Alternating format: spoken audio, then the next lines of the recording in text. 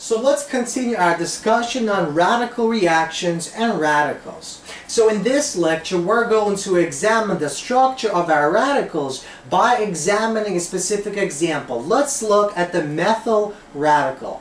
Now before we look at the structure of the methyl radical, let's examine the structure of the cation and the methyl anion. And let's compare the structure to that of our methyl radical.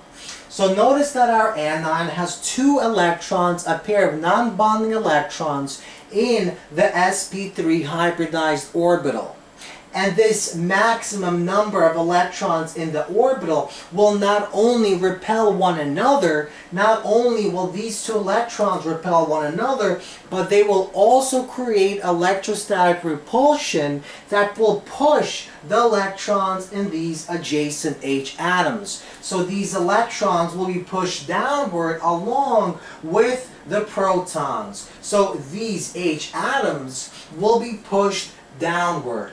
So we're going to form an angle of approximately 99.8 degrees between the H carbon H.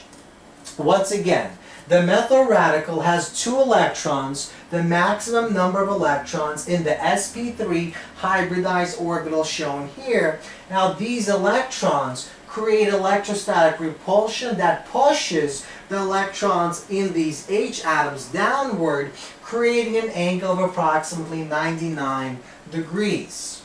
So let's now look at, the, a different picture. Now let's suppose we take these two electrons away from the orbital and now we form an empty 2p orbital. Now because this orbital is completely vacant, it's empty, that means there are no electrons to push these H atoms. So these H atoms will be aligned along the xy plane. And that means the angle will be 120 between this H carbon H. So once again, 2p orbital is empty, therefore angle remains at 120 degrees.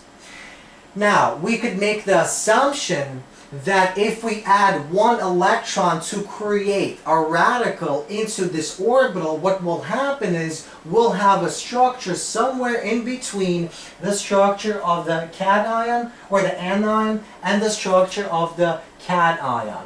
And that's exactly right. Our structure of our radical is somewhere in between these two guys. So what happens is this electron is in this orbital all by itself. And because it's all by itself, it doesn't have enough, it doesn't create enough electrostatic repulsion to push these H atoms downward. So this is only slightly shallow. And in fact, it interconverts, this electron jumps from this orbital to this orbital lobe, creating this really quick jumping motion, the same way that an umbrella inverts in the wind.